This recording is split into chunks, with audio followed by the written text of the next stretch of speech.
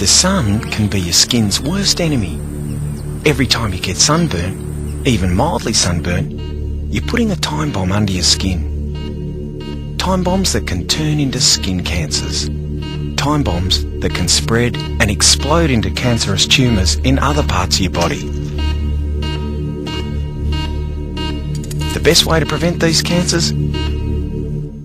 Get SunSmart and slip slop slap every day.